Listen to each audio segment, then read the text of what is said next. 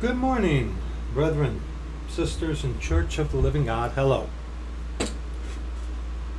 Get your authorized version of the scriptures and turn in the authorized version of the scriptures to Psalm 119.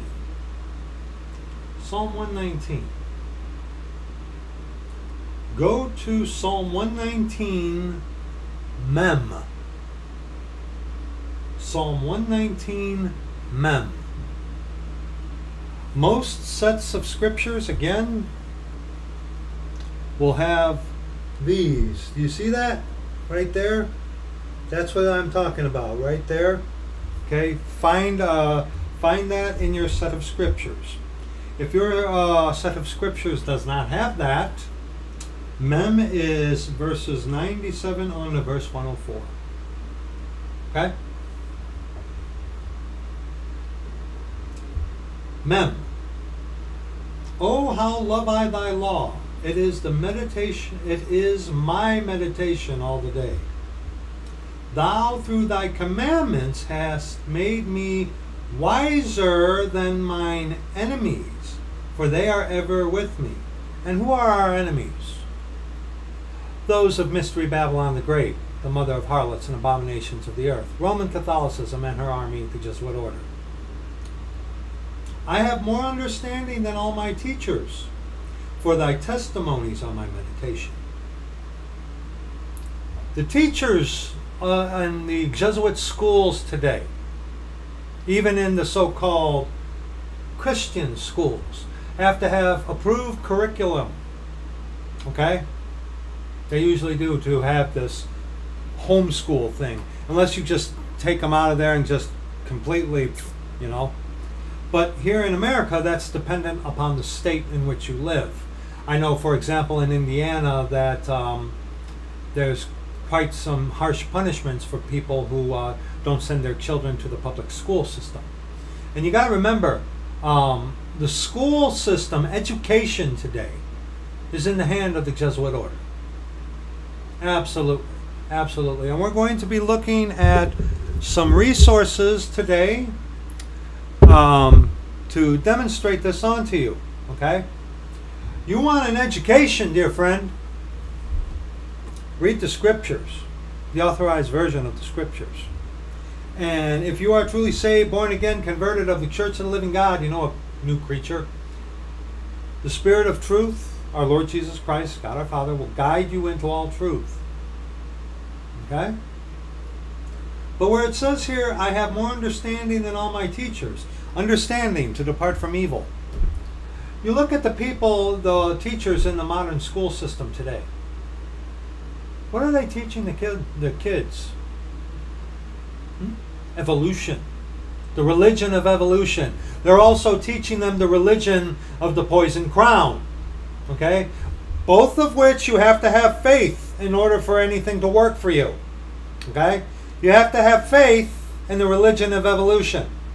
You have to have faith in the religion of the pro, poison crown. Okay? You have to have faith in it. It's a religion. Both of them are a religion. Isn't that interesting?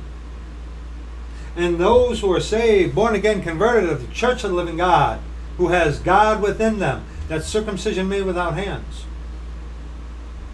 I have more understanding than all my teachers, which are Jesuits. For thy testimonies are my meditation. I understand more than the ancients because I keep thy precepts. What's being implied there is that the ancients did not.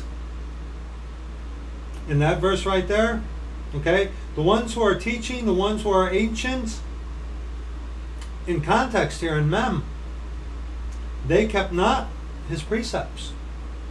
Uh, they did not love his law.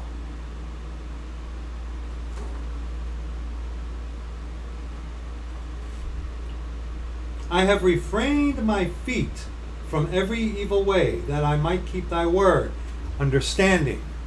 Wisdom is to fear the Lord, and understanding is to depart from evil. Okay? I have not departed from thy judgments, for thou hast taught me. How sweet are thy words unto my taste, yea, sweeter than honey to my mouth. Through thy precepts I get understanding. Therefore I hate every false way. I hate evolution. I hate the religion of the poison crown. I hate Catholicism. I hate easy believism. Okay? I hate the cultic mindset of devoted followers of a man. I hate every false way. And you, as the Church of the Living God, you are supposed to do so too. Okay? But it says right here, I have not departed from thy judgments, for thou hast taught me. Hold thy hold your place here. Some familiar verses and go to Luke. Go to Luke. Luke chapter 21. Or excuse me, not 21. Luke chapter 24.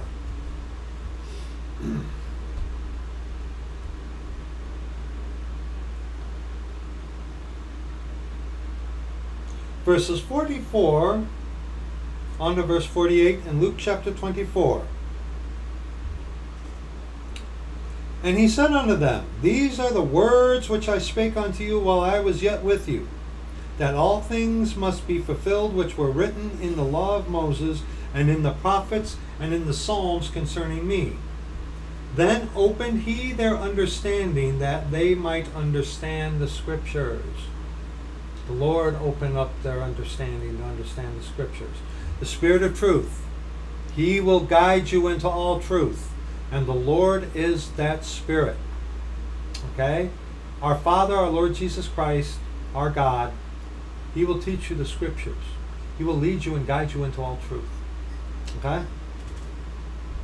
and said unto them, Thus it is written, and thus it behooved Christ to suffer, and to rise from the dead the third day, and that repentance and remission of sins should be preached in his name among all nations, beginning at Jerusalem, to the Jew first. And ye are witnesses of these things. Okay?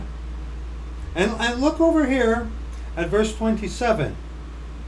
And beginning at Moses and all the prophets, he expounded unto them in all the scriptures the things concerning himself. The Spirit of truth is going to lead you into all truth. Our God Himself, if you are saved, born again, converted of the church of the living God, He is going to lead you and guide you into all truth. Okay?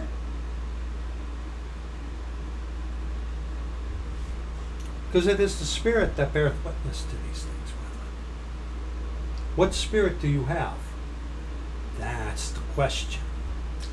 That is the question. That's the $64,000 question, dear friends. And of course, John 17, verse 17. Okay?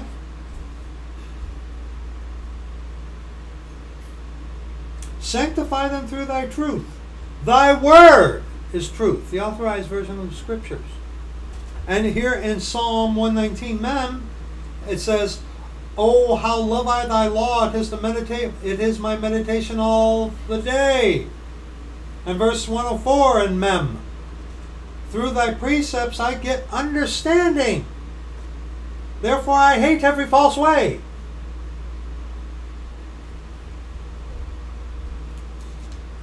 Oh no. It's actually pretty pretty simple. Go to Ephesians. Go to Ephesians.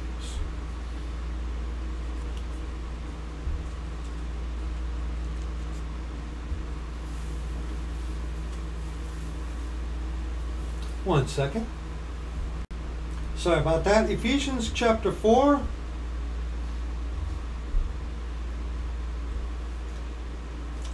Beginning at verse 17. This I say therefore, and testify in the Lord, that ye henceforth walk not as other Gentiles walk in the vanity of their mind, having their understanding darkened being alienated from the life of God through the ignorance that is in them because of the blindness of their heart, who being past feeling have given themselves over unto lasciviousness, to work all uncleanness with greediness. But ye have not so learned Christ.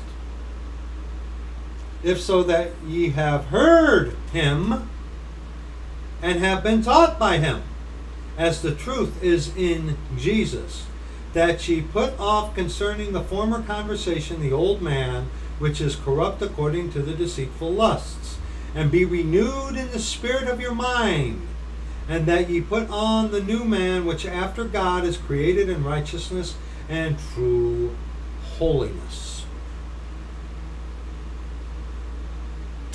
Taught by Jesus.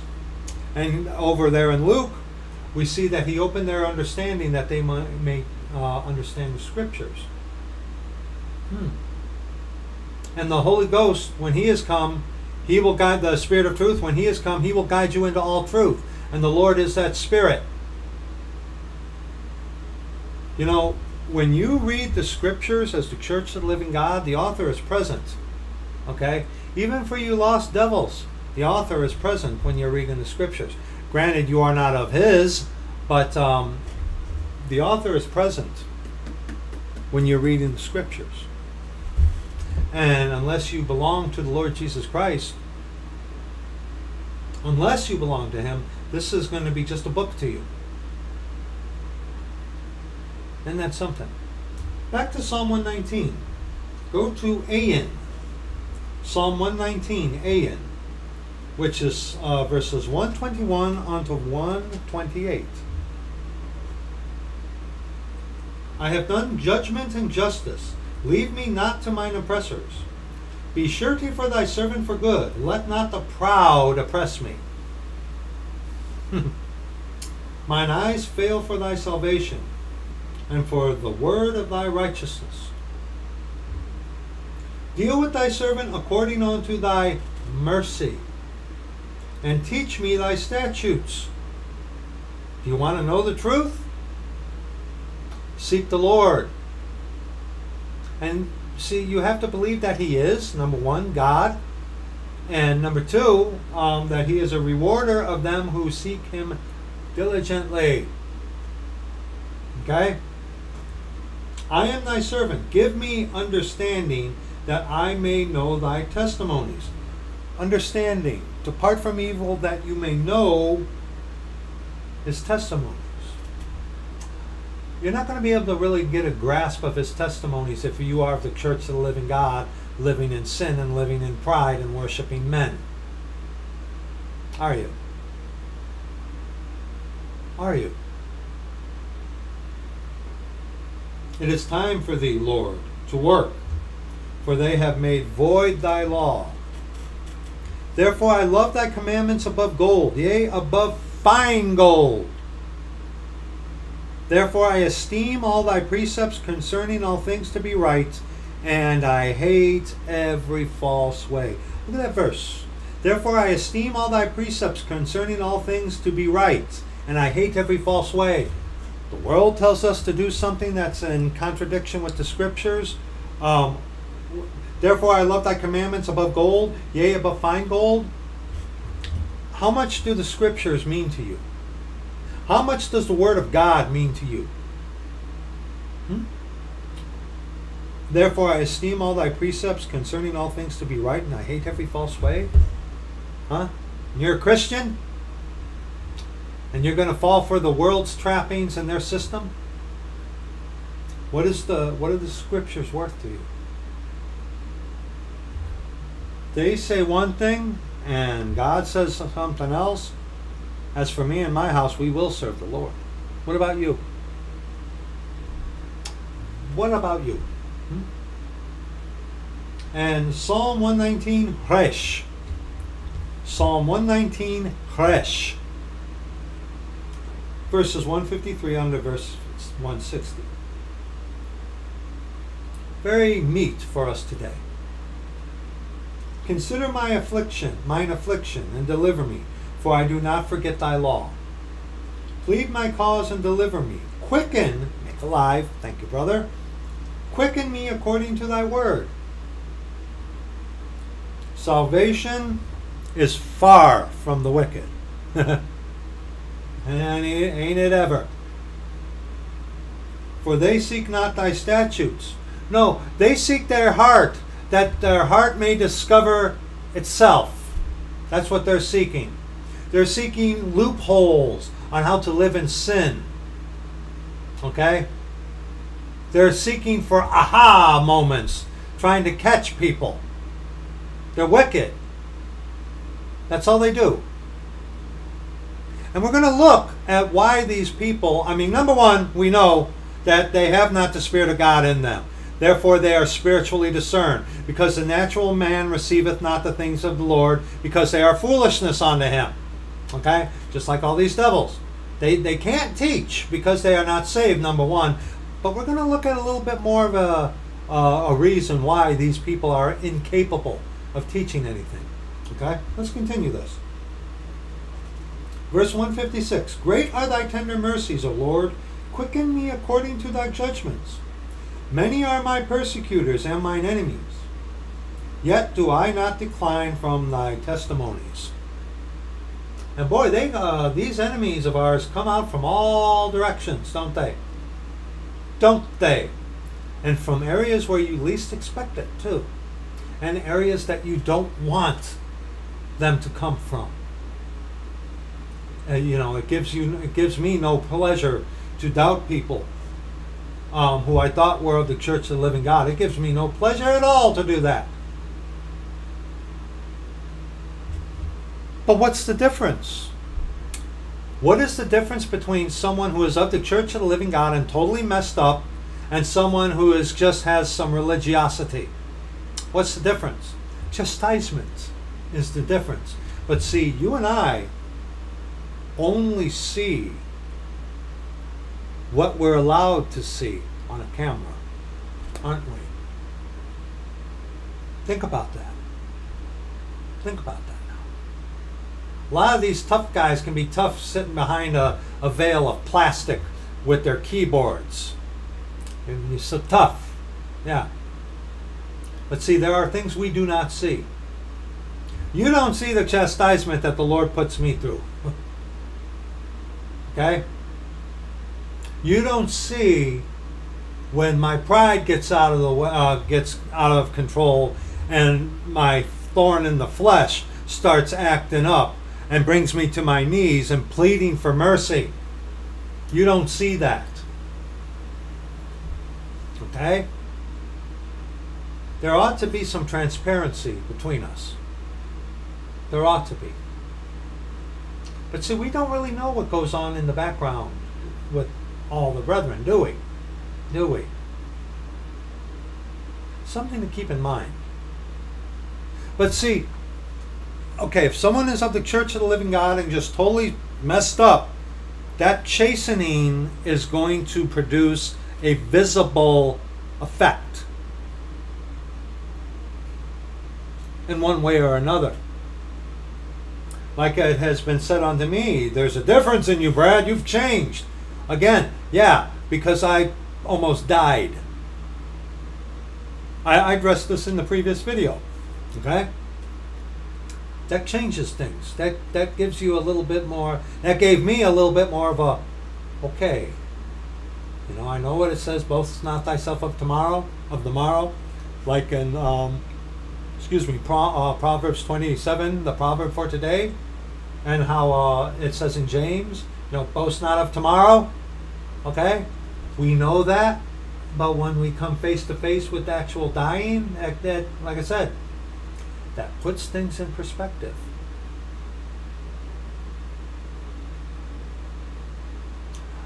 Chastening of someone of the Church of the Living God, even if they are in horrendous error, ought to produce at least something visible for the Church of the Living God to see.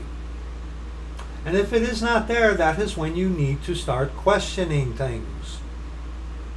And if it continues without any chastisement, then you really begin need to start questioning things. Know what I mean?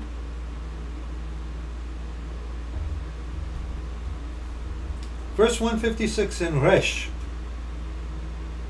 Great are thy tender mercies, O Lord. Quicken me according to thy judgments. Many are my persecutors and mine enemies, yet do I not decline from thy testimonies. Oh, yeah, we have many persecutors and many enemies. That's all they can do. That's all you can do. That's all you can do. Keep smiling, buddy. Yeah, that's all you can do. This is a joke to you guys. Yeah. I beheld the transgressors and was grieved, because they kept not thy word. Those of you who are King James Bible believing Christians, um, how are you doing the keeping thy word? His word. Hmm? How are you at that? Are you so quick to deflect onto others what you yourself don't? Huh? Yeah. Consider how I love thy precepts. Quicken me, O Lord, according to thy loving kindness. Thy word is true from the beginning, and every one of thy righteous judgments endureth forever. Hmm. Ecclesiastes. Ecclesiastes. Chapter 1, verses 1 unto verse 11. The words of the preacher. This is King Solomon. This is King Solomon. This is his diary, if you will. The words of the preacher, the son of David, king in Jerusalem. Vanity of vanities, saith the preacher. Vanity of vanities, all is vanity. What profit hath a man of all his labor which he taketh under the sun? One generation passeth away, and another generation cometh, but the earth abideth forever. Train up a child in the way he should go, and when he is old, he shall not depart from it. Hmm? And what about, uh, and what about the, uh, um, what about where it says here in uh, Proverbs 30? Yes. Verses 11 on to verse oh, 17. There is a generation that curseth their father and doth not bless their mother. There is a generation that are pure in their own eyes, and yet is not washed from their filthiness. There is a generation, oh, how lofty are their eyes, and their eyelids are lifted up. And they're being trained, the, this generation now, are being trained by these easy believism idiot devils. The devils, okay? They're being trained by these people. And this is what they're producing. This, Mr. Smiley Canadian, this is what you are producing. This is your this is what you're producing. Uh, a generation that doth not bless their mother and curse their father. That's what you're doing. Good for you. Good luck at the great white throne there, buddy boy. There is a generation whose teeth are as swords and their jaw teeth as knives to devour the poor from off the earth and the needy from among men. Survival of the fittest. Evolutionary religion being taught in the schools today. The horse leech hath two daughters crying, Give, give. It's all about them. Because you teach them that you're, stay, you're saved by what you do. God is a distant, fuzzy thing. Okay? You are your own God because you save yourself. See? Evolution and the easy believism mindset. Go figure. There are three things that are never satisfied. Yea, four things say not it is enough. The grave and the barren womb, dead in trespasses and sins, no fruit, the earth that is not filled with water, chapped, no water is uh, coming out of their belly, no living water, and the fire that saith not enough. A fire proceeds out of their mouth, and they kindle coals. That's all they do. They're agitators. That's it. That's it. The eye that mocketh at his father and despiseth to obey the obey his mother. The ravens of the valley shall pick it out, and the young eagle shall eat it. Hmm. Ecclesiastes 1, chapter 5. The sun also ariseth, and the sun goeth down, and hasteth to his place where he arose. The wind goeth toward the south, and turneth about unto the north. It whirleth about continually, and the wind returneth again according to his circuits. All the rivers run into the sea, yet the sea is not full. Unto the place from whence the rivers come, thither they return again. All things are full of labor. Man cannot utter it. The eye is not satisfied with seeing, nor the ear filled with hearing. The thing that hath been, it is that which shall be. And that which is done is that which shall be done. And there is no new thing under the sun. There is no new thing under the sun. No new thing under the sun. In the scriptures, it talks about new gods springing up, new that they knew not, yes, but those new gods come from that old serpent, the devil, Satan. See? So, yes, new gods spring up, little g, of course, but they their source is that old serpent, the devil and Satan. There is nothing new under the sun. Is there anything whereof it may be said, See, this is new? It hath been already of old time, which was before us. What about what about cell phone? That's a form of communication. What about these computers? Form of communication and also uh, uh, a, way, a, method of learning. Hmm? What about cars? A form of transportation. Boats, form of transportation. Hmm. These pharmakeia drugs, poison from witch doctors, from sorcerers. Nothing new under the sun. Skyscrapers, huh?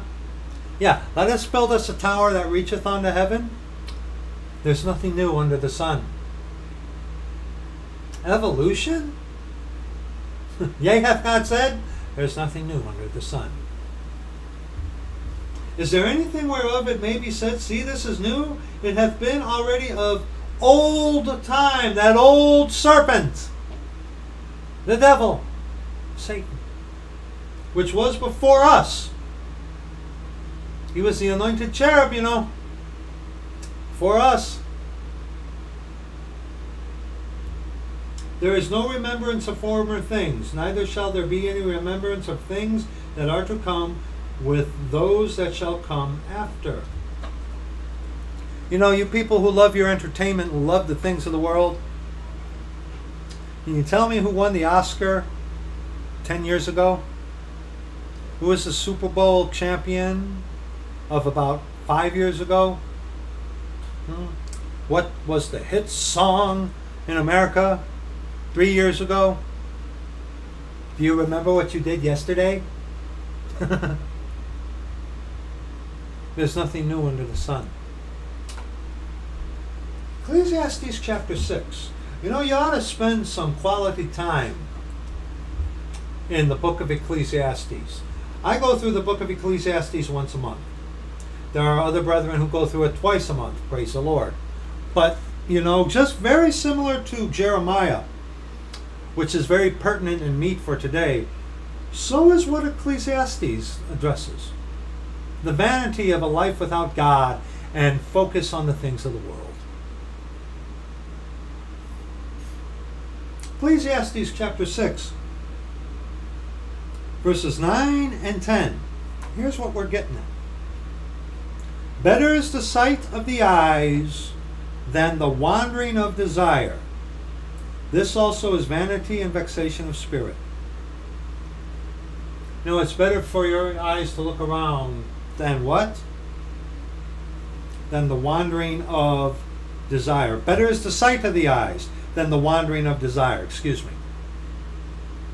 It's better to see a, a beautiful sunset to have a wandering eye to look at things that you ought not to. Therefore, if your eye offend thee, pluck it out.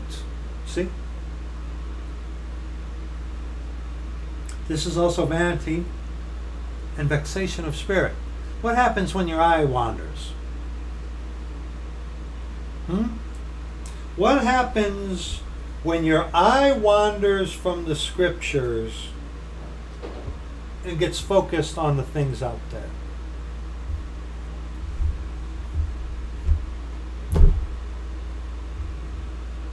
That which hath been is named already, and it is known that it is man. Neither may he contend with him that is mightier than he. And that's something you easy believism devils have to really remember. Uh, neither may he contend with him that is mightier than he. Uh, God, our Father, our Lord Jesus Christ, is a lot mightier than you, and he laughs at your joke of your salvation because you just believe. But see that? That which hath been is named already, and it is known that it is man. Man. From dust thou art, unto dust thou shalt return. Man at his best state is altogether vanity. At your best, buddy boy, you're vanity. At my best, I'm vanity. That which hath been is named already, and it is, and it is known that it is man. Hmm. Romans chapter 8, 20 on to verse 22. Romans chapter 8, verses 20 on to verse 22. For the creature was made subject to vanity, not willingly, but by reason of him who hath subjected the same in hope. We're the creature. We're not the creator. I hope you know that, right? You. You you think you're the creator because you're saving yourself with your belief. Brilliant. Yeah. Because the creature itself also shall be delivered from the bondage of corruption into the glorious liberty of the children of God. For we know that the whole creation groaneth and travaileth in pain together until now. Everything is groaning. Everything is looking for. A lot of people are looking for a savior. But see, you offer them a savior, the savior, excuse me, of the scriptures. They don't want that. No, they want your savior there, smiley boy from Canada. They want your savior. The one who doesn't judge, the one who has no standards, no conditions, just you walking along all of a sudden and you accept it. Yeah, you're giving the people what they want. Bravo, and I hope your rewards in hell are very bountiful for you. Okay? But the people don't want the Jesus of the scriptures. They want that man of sin, the son of perdition. But a lot of people are groaning, looking for a savior. And of course, I believe that Trump for America he's going to temporarily fill that void for uh, the Americans looking for a great white knight, you know, a savior. Uh, I'm going to put some links in the description box um, that deal with the um, Golden Dawn and also the Freemasons, which are run by the Jesuits, of course. But uh, yeah, yeah, and like like I've said before in previous videos, I believe that uh, as the Jesuits did with Napoleon, that's exactly what they're going to do with Donald Trump. You watch. You watch. You watch. If I were a betting man, I bet you 10 bucks. You watch. You watch what they're going to do with Trump here in America. You watch. You watch. Ecclesiastes, now go back there to Ecclesiastes chapter 8, verses 6 on to verse 14. Because to every purpose there is time and judgment. Therefore, the misery of man is great upon him. Therefore, the whole, uh, whole of creation groan. For he knoweth not that which shall be. For who can tell him when it shall be? There is no man that hath power over the Spirit to retain the Spirit, neither hath he power in the day of death. And there is no discharge in that war neither shall wickedness deliver those that are given to it. Hmm. Uh, no man hath power over the Spirit to retain the Spirit. You do not save yourself. Okay? People, please, wake up to this. You do not save yourself by your belief. It's by grace through faith. Okay? And come on, my enemies, you could even repeat this just like I do. What do I teach that uh, has to be there? Right? Rather, what does the scriptures teach? Brokenness and contrition and the fear of the Lord. And in fear of the Lord, you're going to call upon the name of the Lord and may He save you. That's what the scriptures teach as pertaining to salvation in this dispensation. That's what I teach as far as that. Okay? So, you have no power over the Spirit to retain the Spirit. Okay? You don't save yourself. Neither hath he power in the day of death. And there is no discharge in that war. If the Lord doesn't want you to live, you ain't going to live. The fact that you have today is His mercy. Okay? You're not going to get away from God.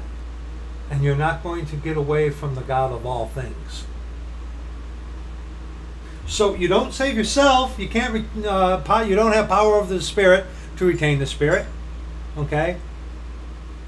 It is a gift. You don't have power in the day of death because you can try all day. If the Lord wants you to die, you're going to die. Okay? Neither shall wickedness deliver those that are given to it. You may be getting away with doing wicked things, but at the end, you're going to give an account for it at the great white throne of judgment. You're not getting away from it. All this have I seen, and applied my heart unto every work that is done under the, under the sun.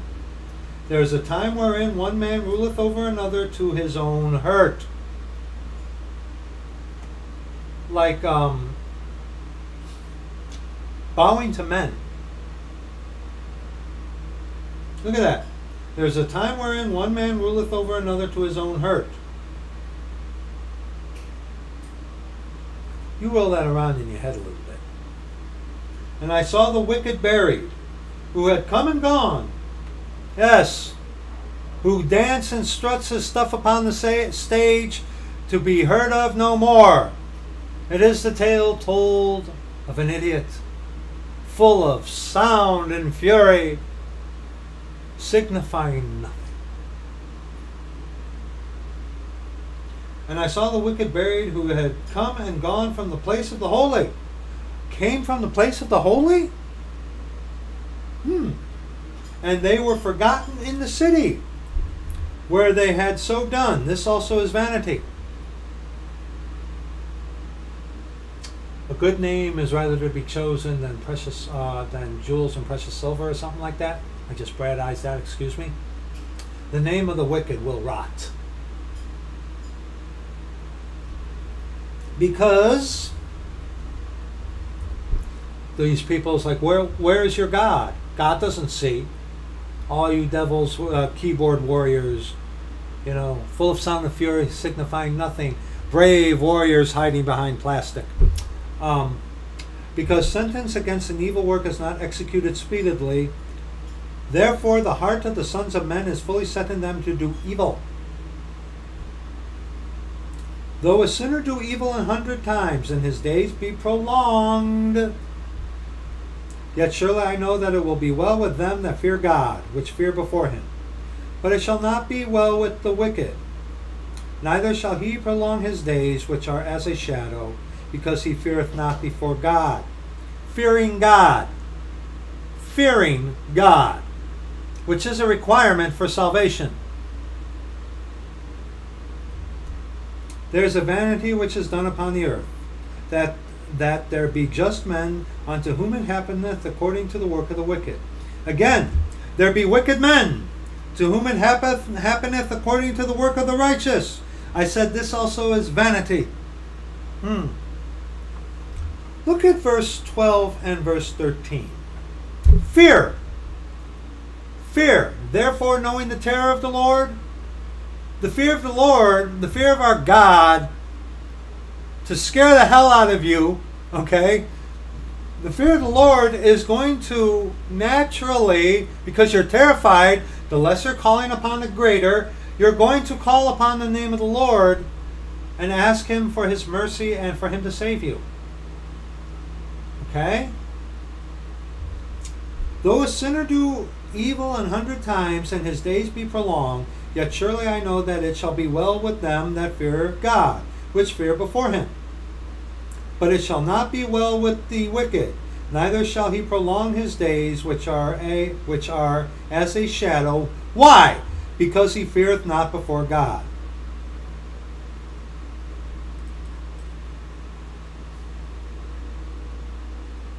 So trying to explain away how someone not having the fear of the Lord but yet calling upon his name and making excuses for him. Why, why are none of us surprised? Why are none of us surprised? You will not convince me that someone who has the fear of the Lord is going to utter profanity when calling upon the name of the Lord. You, you can give all your philosophical reasonings you want.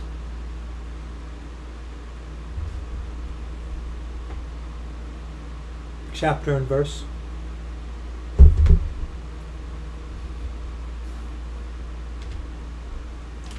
Not surprised.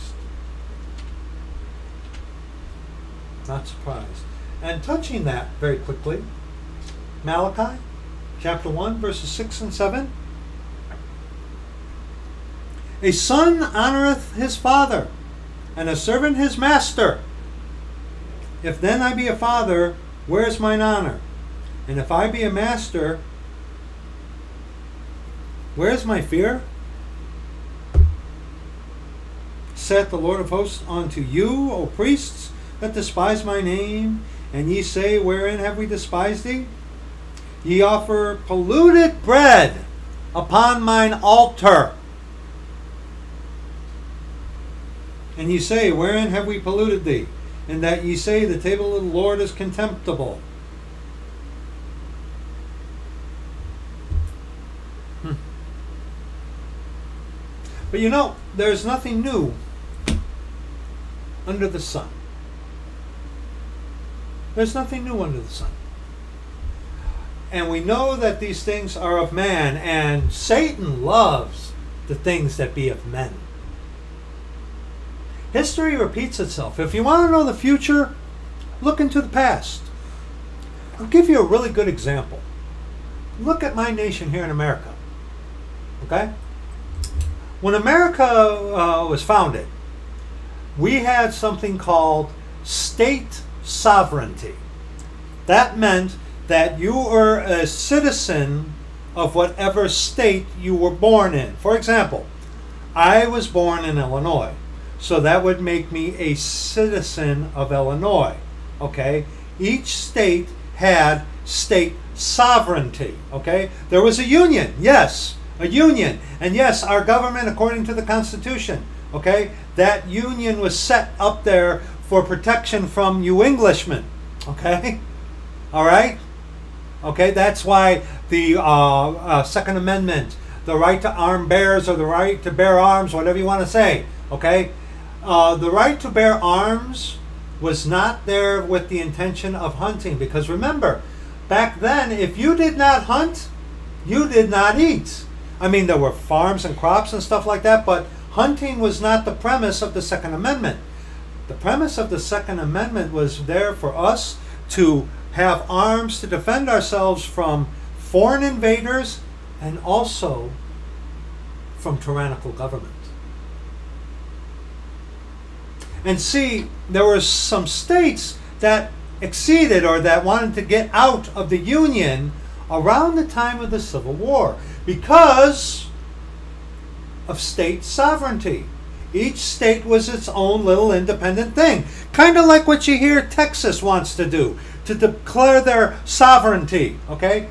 Eric John Phelps, if uh, that 24 uh, 24 7 news radio, um, go ahead and check out some of his stuff where he talks about that.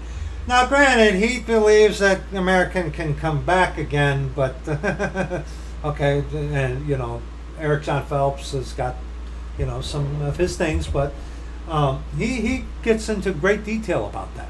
Okay, and I recommend you look up his information on that. And also too, um, go ahead and get the uh, Federalist Papers. Also, a copy of our Constitution and the uh, amendments and the Bill of Rights and all that stuff. Read them. Federalist Papers, by the way, are very telling about uh, how things, you know, they were. The Federalist Papers were basically the Hegelian principle here in America argument, counter argument to bring out the end result. The end justifies the means, okay? but each state was independent, under a union, but independent, free. Okay? What changed that? The Civil War. The Civil War. You want to know the future? Look into the past. America, when it was founded, the states were sovereign states, independent sovereign states. Okay? The Civil War under the guise of slavery. Okay? Slavery actually does appear in the scriptures twice. Okay? But our southern brethren here in America, they practiced an unscriptural form of slavery. Okay? Um, in the scriptures, being a bondservant to repay a debt, uh, to repay a debt, or to be one uh, under servitude after war. Like you go to war and you get these guys, you can make them be your servants. Okay, those are the two types of servitude, slavery that the scriptures talk about. And of course, those of the South did not practice that. But see, when you look into the slave trade thing, okay, you will find ties onto the Freemasons, who are also controlled by the Jesuit order. Look it up. Oh, how could you? Right? Because history has been rewritten. History, as the saying goes, history is written by those who kill heroes as if we need heroes. Okay? But what happened? Civil War, under the pretense of liberating the slaves. That was not what the Civil War was about at all. The Civil War was brought about by the Jesuits, by their cunning, by their plans. They wanted to kill as many Protestants and many as many as uh, of, of us Americans as they could, and to bring about the eventual 14th Commandment.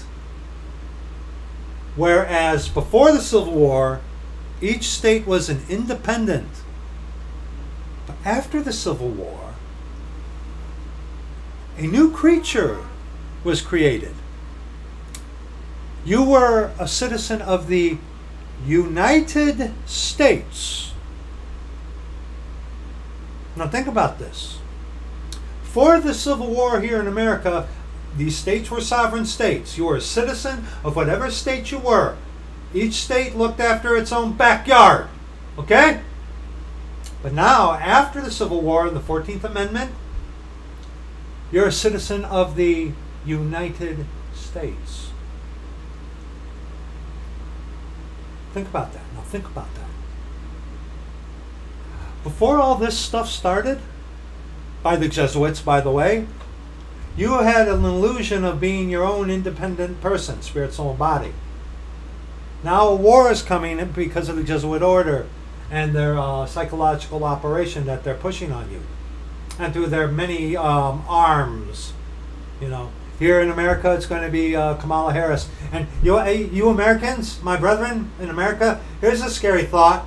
Okay, they get rid of Smoking Joe like they've always planned on, and they officially put Kamala Harris up there. She is the acting president, whether you want to believe that or not. Okay, who's going to be the vice president? in order of succession? Nancy Pelosi. Ha! That's not funny. Think about that, brethren. Think about that. Now, see, once they get rid of Smoking Joe, whether he's going to last the four years or whether they're going to boot him, it doesn't matter. Okay? The end result for us Americans is judgment allowed upon this nation by God our Father. He's allowing the Jesuits to do this for judgment. Uh, the end result is Kamala Harris. Okay? You're going to have to get over that. When they push Trump as the white knight, the savior coming back, it's the Napoleon thing. You, you, you watch. You watch. Okay? You watch. It's the Napoleon thing. They're going to use him just like they used Napoleon. And he is going to sacrifice all of you who are stupid enough to fall for it. Okay? But the end result is Kamala Harris. So they're bringing a war to bring to make everyone to become a global citizen. So if you want to know the future, you look into the past. You look into the past of America. Um, when America was a sovereign, uh, we were a collection of sovereign states, independent. But after war, we became the United States of America. Same thing. You think you have your individual freedom from the in this world. No. Something's going to happen and you're all going to become global citizens. Think about that. Think about that. Okay? And here, plus two, uh, before the Civil War, we had rights. We had rights. But now, because of the 14th Amendment, and we are now citizens of the United States, not um, citizens of the state, sovereign state that you were born in, but no, we are now citizens of the United States. Your rights have been replaced by privileges and a, a hierarchical government has been established here in America that we have today, which is fashioned after the Roman Catholic institution. Think about it, people. Think about it. We have our rights? No, we have privileges. What is that in, in Catholic jargon? A dispensation from their Pope. So our rights are given to us as a dispensation from our president our Pope. And with the Trading of the Enemy Act by, uh, what was that, uh, Roosevelt, I believe it was? Something like that. Okay? The Trading with the Enemy Act. And we've been in a state of emergency ever since. I think it was in the 1930s or something like that. Um, we are under executive um, uh, executive powers. Your, the Constitution it's a guideline. It means nothing. Look, look, look at what they're doing today in America. Okay? Look at it. Okay? A lot of people like to say, I have rights. No, you don't. They're a guideline. They're there, they're there for a show. Okay? Why? Because since the Civil War, America is of the United States. We have a dictator, Kamala Harris and our rights, our privileges, dispensation given to us by a pope. Does that sound like something you might have read in, for the future here in the scriptures? Yes, it is. You want to know what's coming? Look at the history of America, people. Think about it. Then again, when it comes to finding history, you can still find true history. But you got to remember who wrote the history books? The, the works of those of the Church of the Living God have been long before long burned and destroyed by Roman Catholicism and the Jesuits. Remember, the Jesuits' goal was the counter Reformation. And the reformers did want to reform Catholicism. I always said that uh, Martin Luther wanted it to be the German Catholic uh, Church rather than the Roman Catholic Church. Okay? And um, incidentally, I don't think Luther was a saved man either. I really don't. I really don't. I hope I'm wrong. Lord, forgive me if I am. You'll show me when I get there. But history has been changed, rewritten. By who? Catholicism. Mystery Babylon the Great. Her army, the Jesuits. Satan. Because, you know, for example, the kids in schools, they're learning evolution, um, creation, as according to the scriptures. Which one? Creation is not being taught in schools.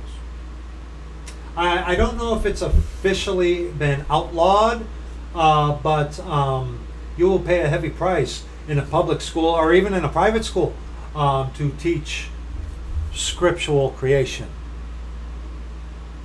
That's the hands of the Jesuits. I'm going to be reading to you some from this book George Orwell's 1984. Um, was George Orwell a Jesuit? I have no idea. I will tell you this. There ain't no way that Mr. George Orwell came up with this by himself. Uh, I believe a devil uh, inspired this in him. Okay? Okay? That's what I believe. Um, or else uh, the devil himself gave him this, or one of the Jesuits uh, I truly believe, uh, wholeheartedly believe, that Orwell was at least a Freemason of the Illuminati. Can I prove that? No. But he had ties.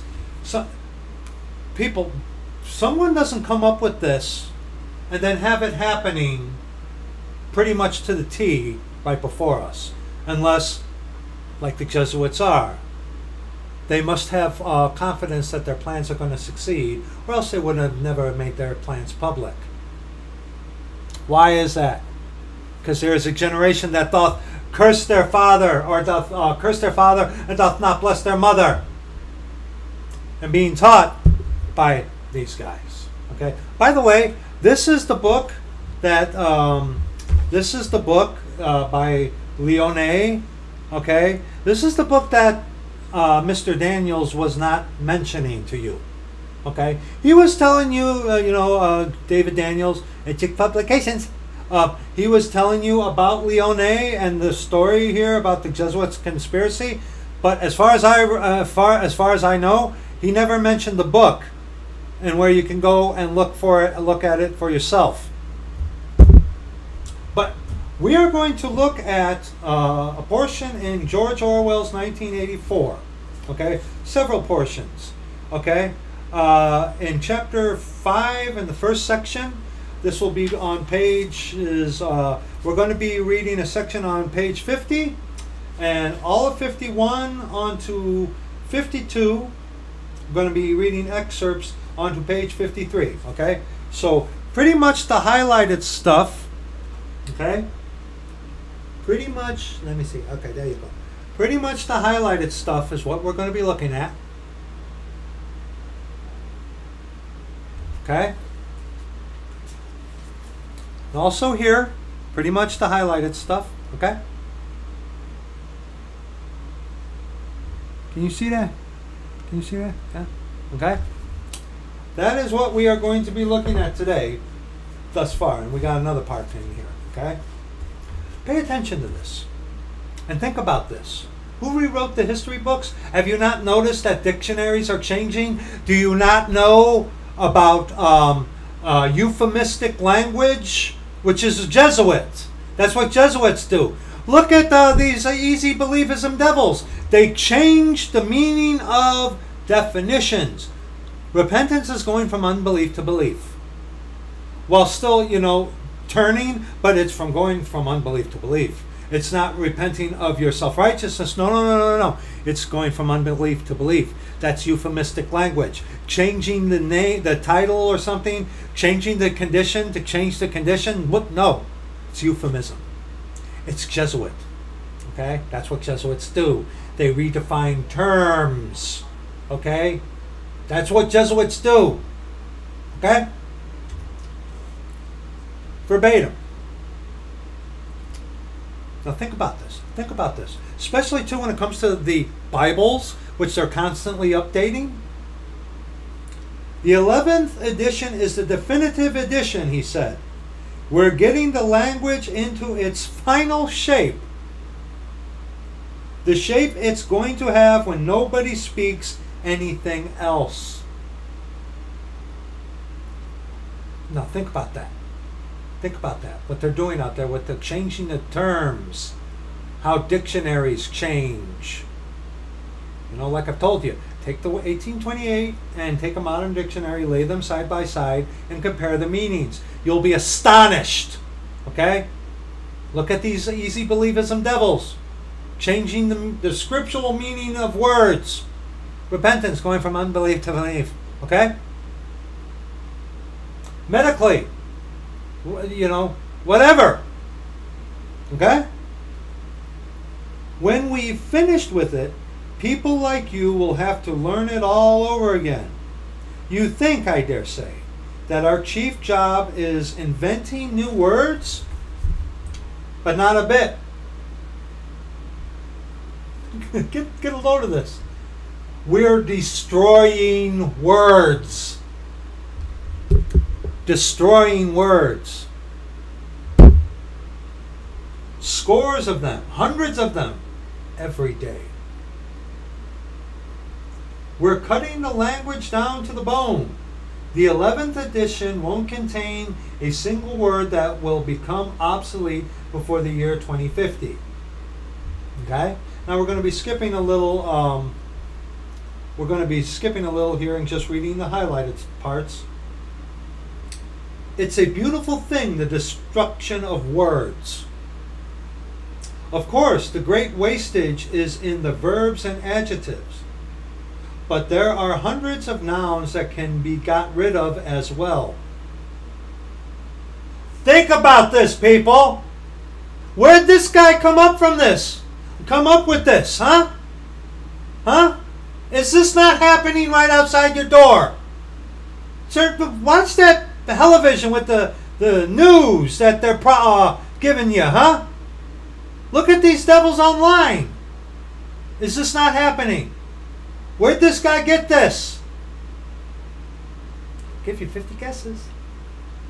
Not from himself, that's for sure. It isn't only the synonyms, there are also the antonyms, after all. What justification is there for a word which is simply the opposite of some other words. Wow.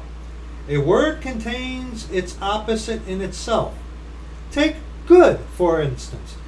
Get a load of this. If you have a word like good, what need is there for a word like bad? Ungood. Did, did you catch that? Don't, don't say the word bad. Say rather ungood. Don't say that he's lost. Just say that he's in error.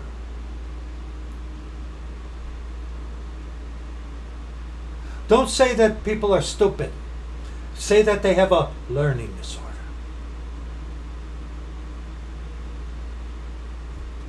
You tell me, hey, hey guys, come on, my enemies, come on. You're part of this. This is what you're doing. But I dare you to at least have the stones to admit it. What you're not. This is your. You know, your time is coming. We're our time is ending. We're going to be getting out of here. You guys are going to have be able to rule the roost with your father, the devil. Okay, you you guys are part of this, but this is what is happening now. Look at that. If you have a word like good, what need is there for a word like bad? Ungood will do just as well.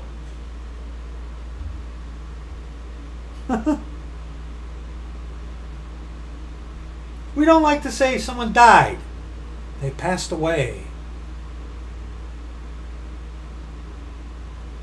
I, I, I'm not in sin. I'm struggling. You get the point? Euphemistic language. Changing the name of the condition, change the conditions. No! That's Jesuit. Okay? That's what Jesuits do. And that's what you are. Those of you who do this. Especially you easy believism devils, you're Jesuits. All of you. Okay, ungood will do just as well. Better! Because it's an exact opposite, which the other is not. Or again, if you want a stronger version of good, what sense is there in having a whole string of vague, useless, useless words like excellent and splendid, and all the rest of them? Plus good covers the meaning, and double plus good if you want something stronger still. Of course, we will use these forms. Of course, we use these forms already. But the final version of new speak there'll be nothing else. In the end, the whole notion of goodness and badness will be covered by only, note this, six words. In reality, only one word. Don't you see the beauty of that, Winston? It was Beebe's Big Brother's idea originally, of course. He added as an afterthought. Wow, huh? Huh? Wow, huh? Now, get a load of this. Like I said, we're reading just the highlighted things. Okay? Uh, well, well, here, we're going to read this, okay? You haven't read, you haven't a real appreciation of new speak. New speak, Winston. He said almost sadly. Even when you write, it is still thinking in old speak you know, the old paths. I've read some of those pieces that you write in the Times occasionally. They're good enough, but they're translations.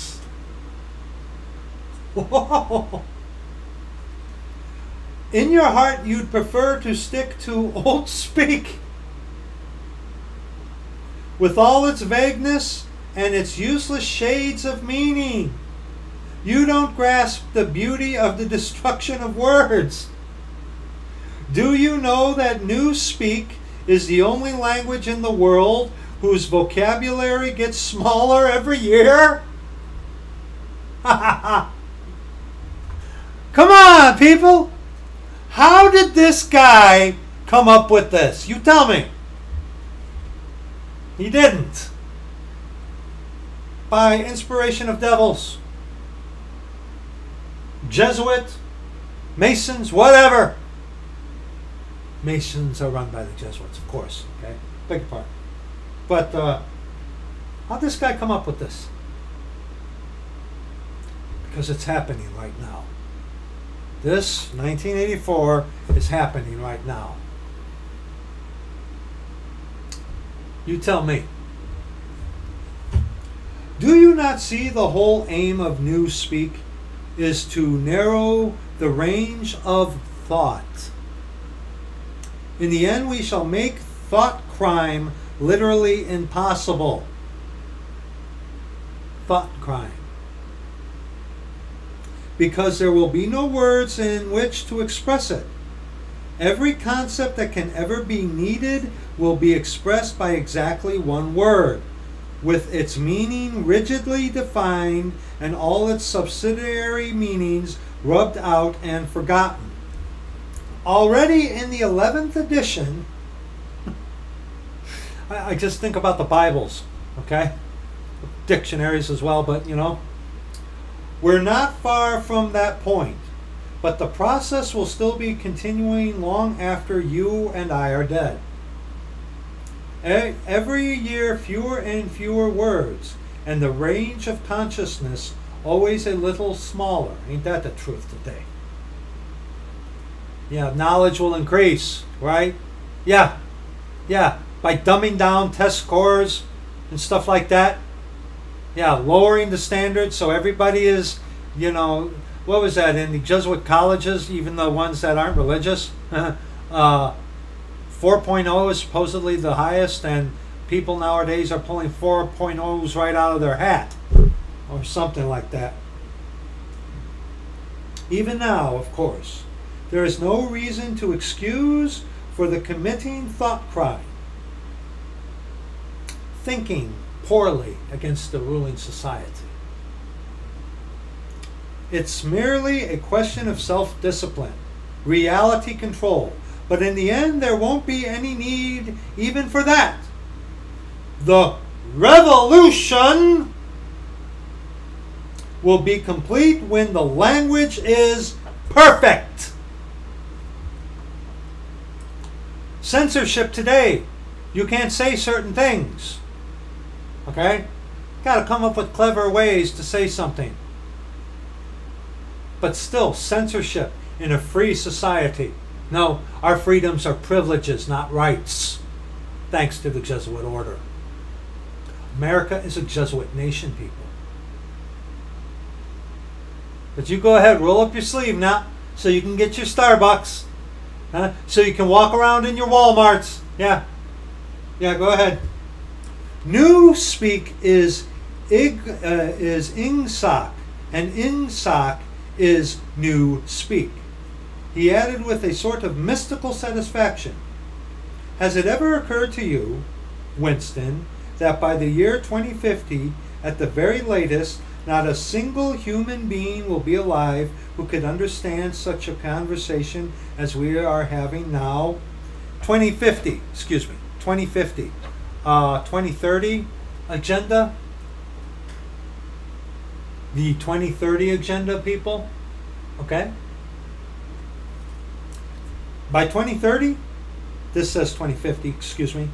Uh, at the very least, not a single human being will be able be alive who could understand such a conversation as we are having now. Maybe because by 2025 is when people are going to start dropping like flies. And here is another um, here's another portion in uh, yellow thing that we're going to be reading. Okay. Now the proles are not human beings, he said carelessly. Those who went uh, adhere to the old way. By 2050, earlier probably, all real knowledge of old speak will have disappeared. The whole literature of the past will have been destroyed. Chaucer, Shakespeare, Milton, Byron. They'll exist only in new speak versions. Like the Pilgrim's Progress in today, updated in today's language. Even that wicked uh, Charles, uh, not Charles, um, Oswald Chambers, his utmost for his highest in today's updated language. Get it? Shakespeare, which is a, an atrocity. Shakespeare in modern language. Hello? God's word in the Bible in modern language. Hello? Not merely changed into something different, but actually changed into something contradictory of what they used to be.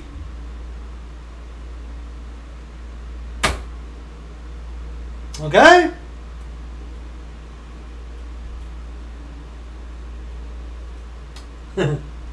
Even the literature of the party will change. Even the slogans will change. Oh, think about all the propaganda they're pushing on you right now about the uh, poison crown, the religion of the poison crown, and the steel of the Jesuit poniard.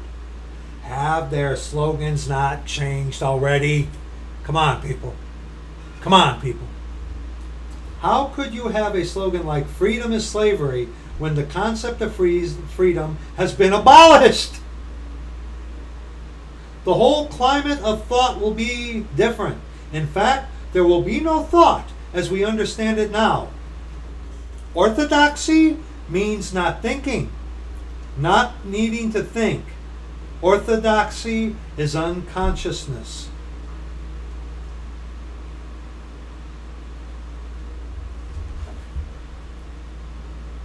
Now, I'm going to read to you a portion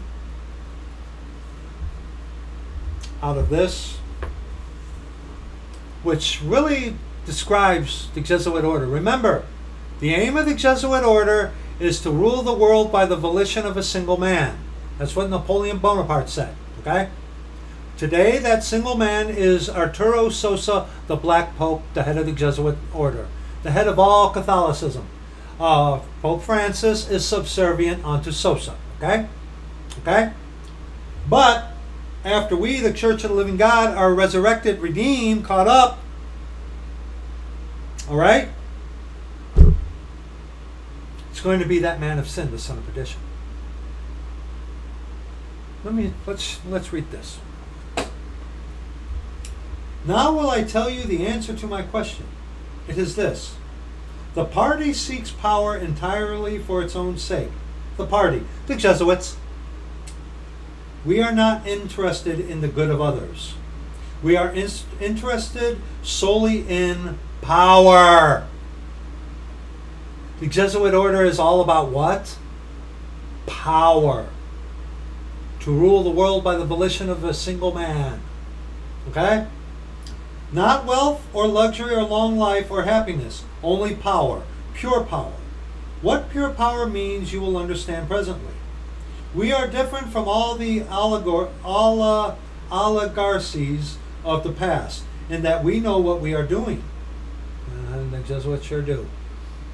All the others, even those who resembled ourselves, were cowards and hypocrites. The German Nazis and the Russian communists came very close to us in their methods, but they never had the courage to recognize their own motives. And both of these, uh, Nazism, communism, brainchild of the Jesuits. Okay?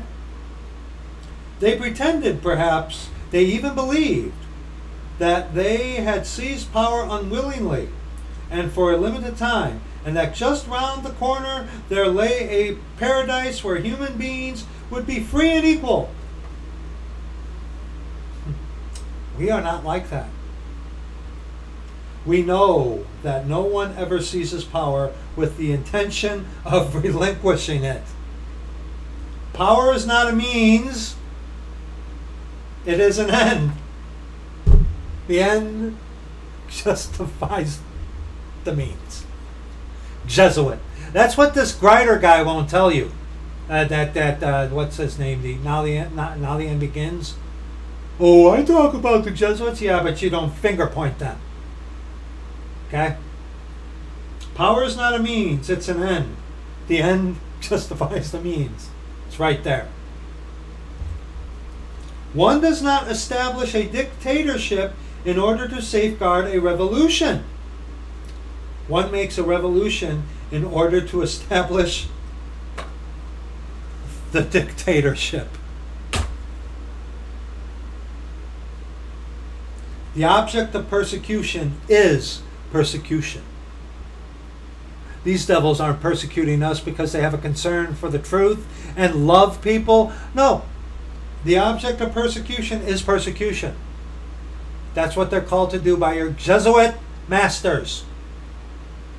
The object of torture is torture. The object of power is power. Now, do you begin to understand me?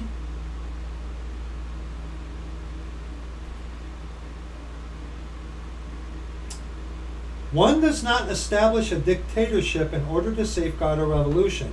One makes the revolution in order to establish the dictatorship. You know, we Americans, and to the enemies of mine who are really quick to bash on us Americans, you're right. I'll give you that. I'll give you that. I have to. I have to. America is a Jesuit nation. not like Eng- England, isn't there, old chap? But uh, yeah, yeah. People, they they have a the world has a reason to hate us, and once the male figurehead, smoking Joe, get out of the way, and they put the Jesuits put these two um, sirens, these two witches, Kamala Harris, Nancy Pelosi as the vice. Wow.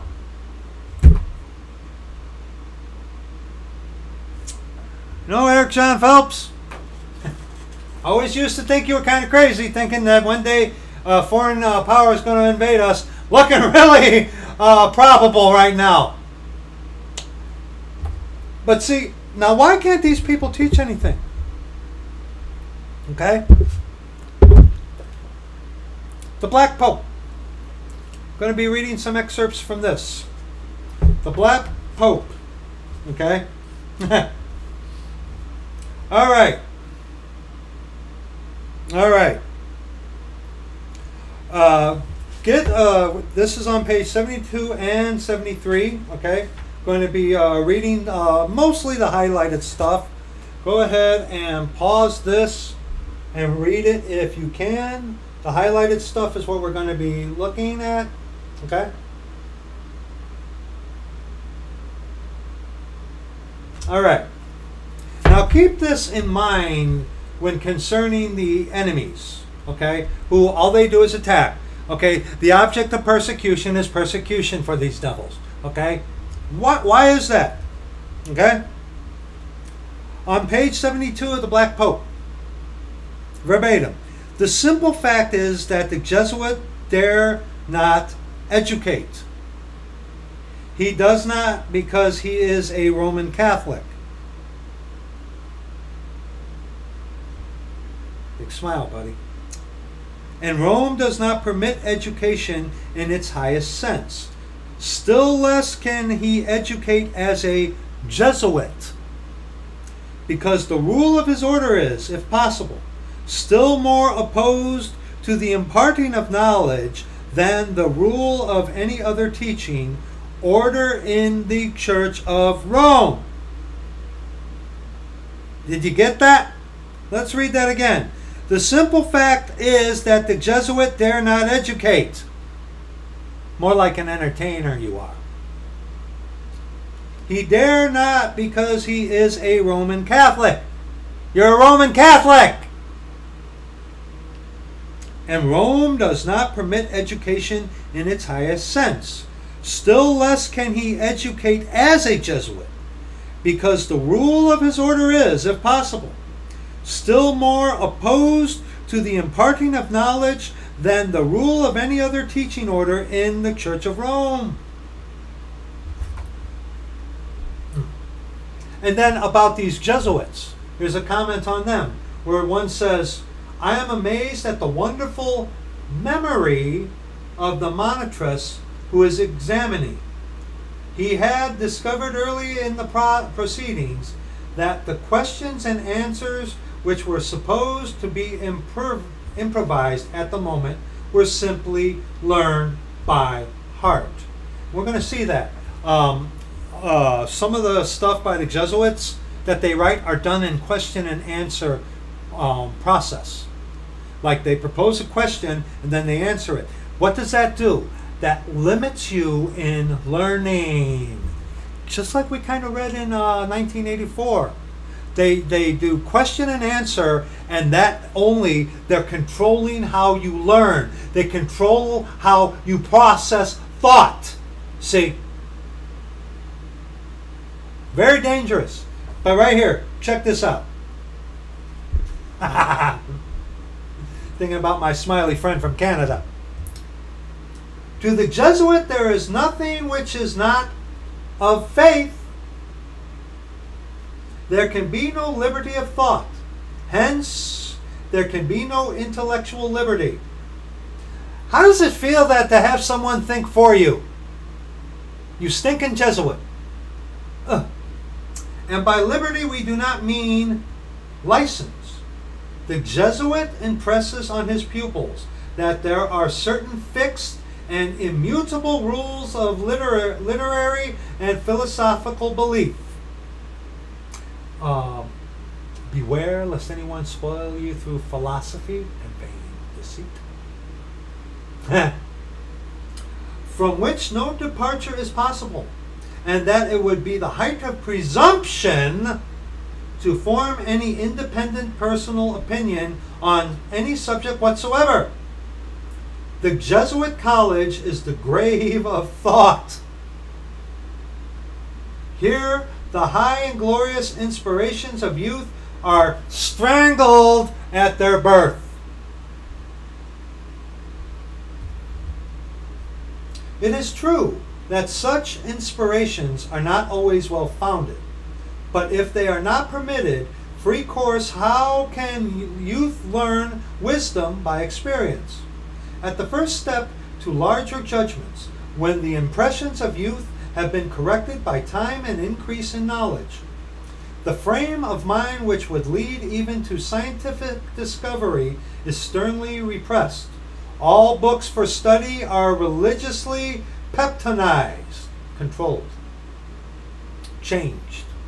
Kind of like what we just saw in uh, Orwell's 1984. Yeah. So that they may so that they may be assimilated without digestion, ever learning and never able to come to the knowledge of the truth. There is no chance for expanding intellect. And see right there, you devils, you don't expand people's intellect by guiding them through the uh, scriptures because the Holy Ghost is not in you. Okay? The Holy Ghost in you as the church of the living God will prophesy unto the church through the scriptures. Okay? That's prophesying for today. These devils, there's no chance for an expanding of intellect. It's all memorization. I mean, that's it. There's, there's no expansion. For expansion is unnecessary when there is nothing more to be known. I'm saved just because I believe. Okay? Repentance is a work, contrition is a work, calling on the name of the Lord is a work, fear of the Lord is a work.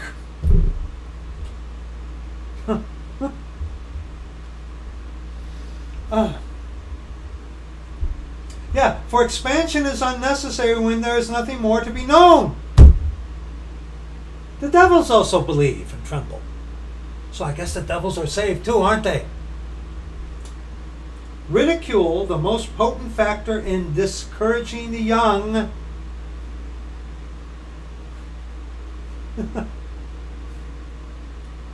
is freely used in any attempt at originality of thought is manifested.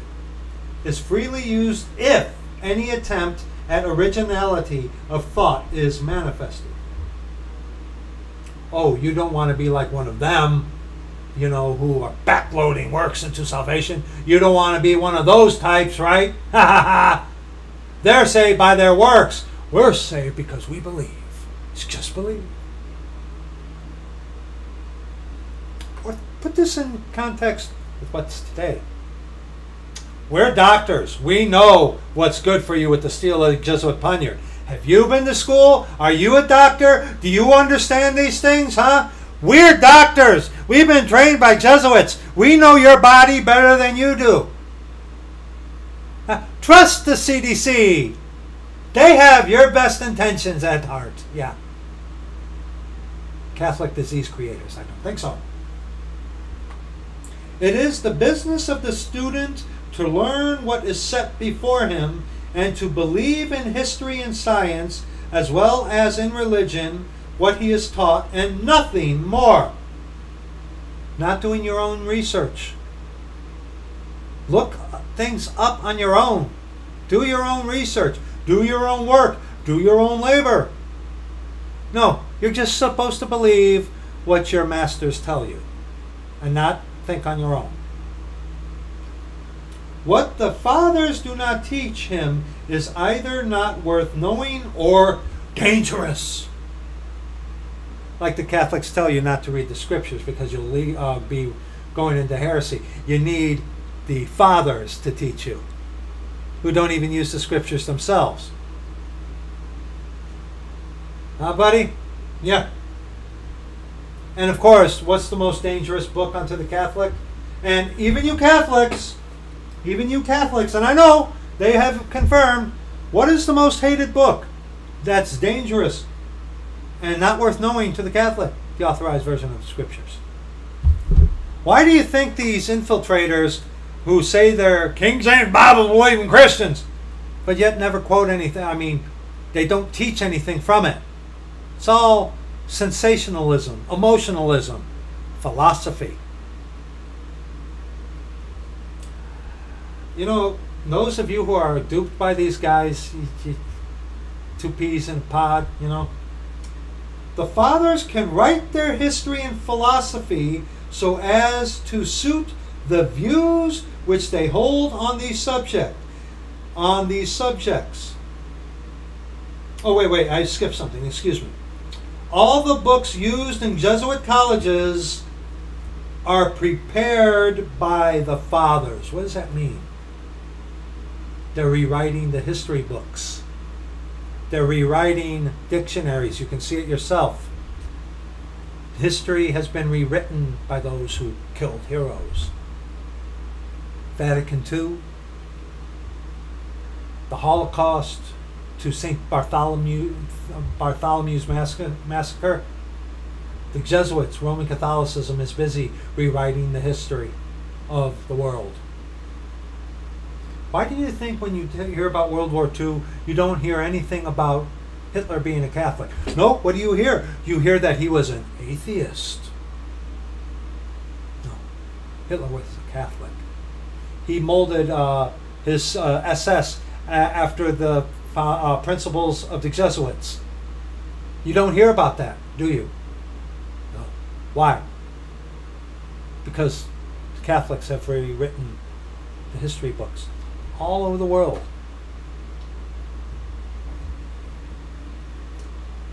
What the fathers do not teach him is either not worth knowing or dangerous. All the books used in Jesuit colleges are prepared by the fathers. Well, that's just Jesuits. Uh, people, come on. The Jesuits uh, here in America, especially, are in every single solitary school in America, from the little kids to the paid functionaries. Okay? There are two reasons for this. The fathers can write their history and philosophy so as to suit the views which they hold on these subjects, and they add very largely to their income by the sale of their own books. Yeah. Yeah. All right, let's see. What else can we go? Okay.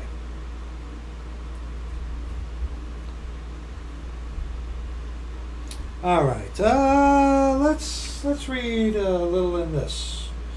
Another serious disadvantage of Jesuit education is the u- is the use which is made of Latin, which is not always classical, as a medium of instruction and communication. The Latin Vulgate. Okay. Latin is not merely the language of the church in an ecclesiastic in, in a ecclesiastical sense. It is also, with rare exceptions, the usual medium of ecclesiastical communication. All pronouncements are written in Latin. All communications with the Roman Curia are written in Latin. I have heard it said that while Latin is one of the seven purifications of the Word of God, that it went through, yes, but Latin seems to be the main language of the Roman Catholic Church. Hence, Latin is the language of the devil? Hey, now if your Latin is your tongue, okay, but we're dealing with facts here about Catholicism. And Catholicism is Satan's church. Okay? The popes and the cardinals who reside in Rome, with very rare exceptions, do not understand any language but Italian and the English and other bishops, with rare exceptions, do not speak Italian. It is a curious fact that the men who dictate the policy and politics and license the books for foreign countries do not know one word of the language in which they are written. Hmm.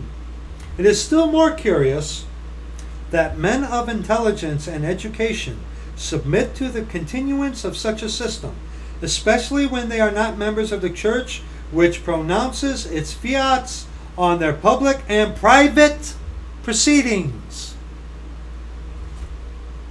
Public and private proceedings. What does that translate to? Public and private education, which is in the hands of the Jesuit order.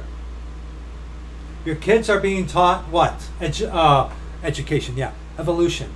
I've heard stories of um, uh, a, a dearly, dearly beloved sister of ours sent me some stuff about how um, first graders are being taught about sexual things. First graders.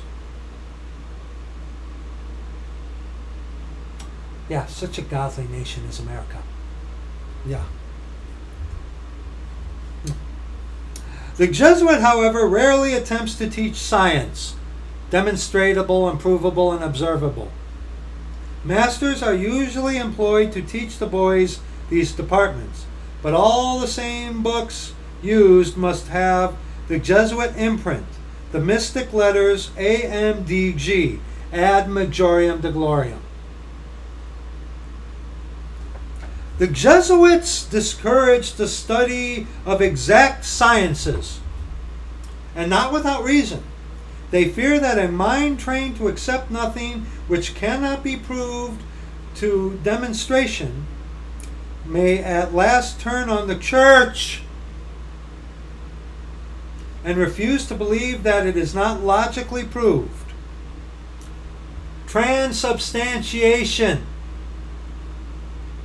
You know, your little uh, wafer god that you worship, okay, which your priest says abracadabra, hocus pocus, and turns it into the flesh, body, blood, whatever. Not the blood because you drink that in a cup, right? Yeah, yeah, yeah. And you're supposed to believe that by faith, just like you're supposed to believe by faith evolution, and just like you're supposed to believe by faith the psychological operation of the poison crown. The mathematician accustomed to accept nothing which is not proved, and to discuss and weigh every argument, may one day apply this method of analysis to religious questions, which a result would be which a result with a result which would be fatal. The order has a, speci- a specialist for each study who prepares the book on each subject. Ever wonder why there are all these specialists from medical to this and that? The object of persecution is persecution. One does not uh, set up a dictatorship to safeguard a revolution. No, uh, one has a revolution to set up a dictatorship.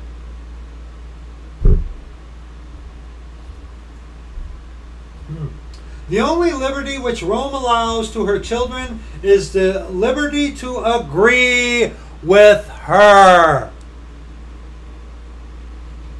And the liberty which she so loudly demands at the present day from the world at large is liberty to take away our liberty.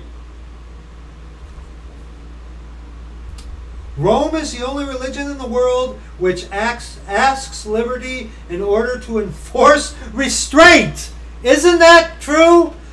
Think about that for today, people. Okay? You, you, you roll up your sleeve for the steel of the Jesuit poniard so you can what? Have your freedom. But then you got to get another one and another one. And now these continual booster shots? And those who have been come in contact with the steel of the Jesuit poniard, they're still recommended. And it's no guarantee that you won't get this fictitious poison crown? Hello? Is anyone? Hello? Hello? The only liberty which Rome allows to her children is the liberty to agree with her. You don't agree with me, that's fine. Go ahead. Go, go away. Do whatever you want to do. That's okay. Many people don't agree with me. I don't agree with many people. Okay? You, know, uh, go ahead. Go ahead. Okay? You wanna you wanna believe your salvation is your salvation because you believe and you just received it like Abraham? Took me a while to figure you out, by the way, but I got you. Yeah, because you, shot yourself in your own foot, like they you all do. But uh, hey, you want to believe that stuff? Go ahead. Go ahead. Go right ahead. Up the dosage, man. Go ahead. Not the Catholic, not the Jesuit. Your liberty is to agree with her, or, and the liberty which she so loudly demands at the present day from the world at large is liberty to take away our liberty. All these restrictions placed on you for your own good is liberty to take away our liberty. Give unto the Jesuits the liberty to take away our freedom for the for the common good because they know better. Right? Do you not see? Do you not see? It's the Jesuits who are in control of all this, people.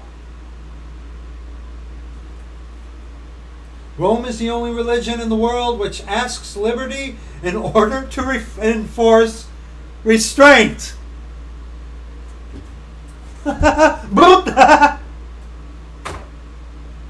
Oh. Oh.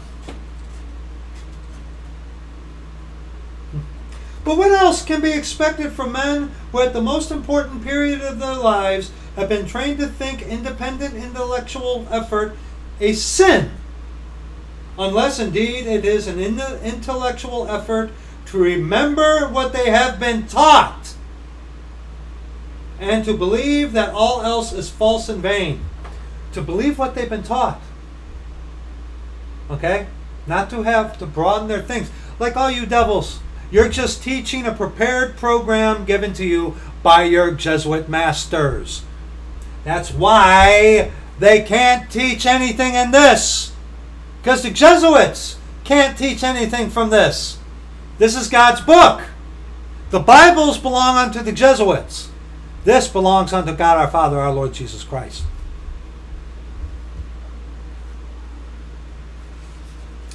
All right. Let me see. Let me see. Let me see. What other juicy things can we give you here? the Jesuit professor of history did not believe in the conversion of the world by peaceable means, but rather by the sword and the torture. Obviously. Hmm. In this, we find he ignored the fact that these bad Christians, bad Christians, they're Christians, remember, were devout Roman Catholics.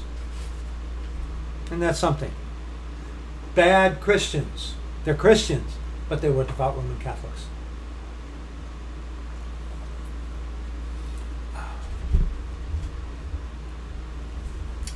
All right.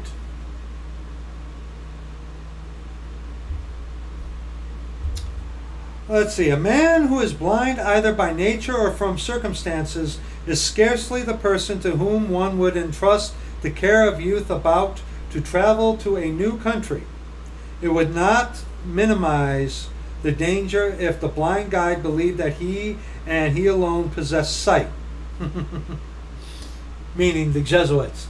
Uh, now, because you think that you have sight, you are blind. If you were blind, then you would see. But now that you say that you see, you are blind. Our Lord Jesus Christ said that. Here's the last one that we are going to cover of this, okay? Uh, uh, hold on. Oh, here, this is what I wanted to show you.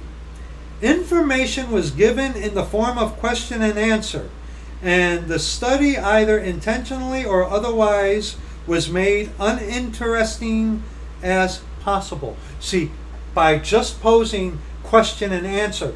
There's a book I have called The Faith by the Jesuits, which is nothing but question and answer. A lot of the some of these catechisms are done in question and answer. Why? That controls what you think and how you process it. Controlling you, see? The Jesuits' dream of a perfect college, says M. Glees, is one where there would be a crowd of young men who would listen only to their masters, speak only to their masters, think only as their masters, and have no intercourse with their companions except such as should be altogether unavoidable. The control of the Jesuit order. These guys, these devils here on YouTube, they can't think for themselves. They're programmed. You can't think for yourself. What you're doing is provided for you by your father, the devil. You're following a script. That's why you can't teach anything from Scripture, because you're, you're not saved to begin with, but that's why. These men are robots, people. They're not men. There is one point on which the Jesuits deplore that their educational efforts have not the success which they deserved. Their pupils have no enthusiasm, either for the order or for the spread of the faith. And when you think about that, these people, they're more interested in attacking those who preach the truth, not seeking to spread the faith. Okay? That's all they're about. They may remain members of the church so far as to frequent the sacraments on stated occasions, to marry with the rites of the church. So a Jesuit could have a wife and children. Yeah. To attend Mass occasionally on Sundays and to even and even to send their sons to Jesuit colleges. But here the matter ends. They are passive and never become apostles. They may become opponents, but the Jesuit has only his own system of education to thank for this. They may become opponents,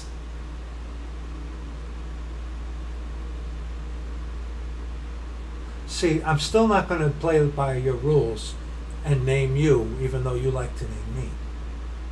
Because that's what you want. And I'm not going to give you what you want. This is why people, this is why these people on YouTube and other platforms, this is why they cannot, um, this is why they cannot teach anything, okay? Got to remember that. Now, um, I want to want to share this with you. Okay. Uh, one second. I'm going to pause this. Okay. I've read this to you before. The Secret Plans of the Jesuits by Leone. This is the book that David Daniels was not mentioning to you, but quoting of it and not telling you where to get it or find it. Okay?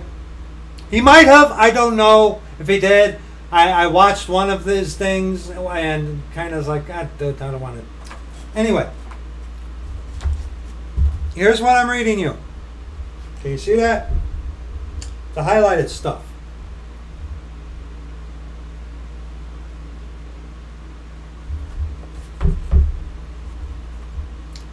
For I would not have it lost sight of that our chief concern must be to mold the people to our purposes Doubtless, the first generation will not be wholly ours, but the second will nearly belong to us, and the third entirely. The third generation. Yeah. Yes, the people are the vast domain we have to conquer. And the harlot sits on uh, waters, which are people in Revelation chapter 17. And when we are free to cultivate it after our own way, we will make it fruit, uh, fructify to the profit of the impoverished granary of the holy city. We shall know how by marvelous stories of gore and gorgeous shows, full of sound of fury, signifying nothing. To exercise heresy from the heads and hearts of the multitude. Oh, like brokenness, contrition, and uh, fear of the Lord, calling upon His name, which is scriptural repentance, scriptural salvation, scriptural fear, okay, sorrow, that kind of stuff, salvation. We shall know how to nail the thoughts upon ours, so that they shall make no stir without our good pleasures. Then the Bible, that serpent which, with head erect and eyes flashing fire, threatens us with its venom, whilst it trails along the ground, shall be changed again into a rod as soon as we are able to seize it. And what wounds will we not inflict with it upon these hardened pharaohs and their cunning magicians? What miracles will we not work by its means? Oh, then, mysterious rod, we will not again suffer thee to escape from our hands and fall to the earth. For ye know but too well that, for three centuries past, this cruel asp, talking about the scriptures, the authorized version, has left us no repose. You well know with what folds it intertwines us, and with and with what fangs it gnaws us. And and in this book, if you get it, um, you'll see that even the Jesuits, the Catholics, admit that yeah, the scriptures are against their institution. Even their own Bibles are, people. But now let's let's finish this up. I want to show you something. I want to show you something. Okay. This, from where my finger is on this page, this is what I'm reading you next.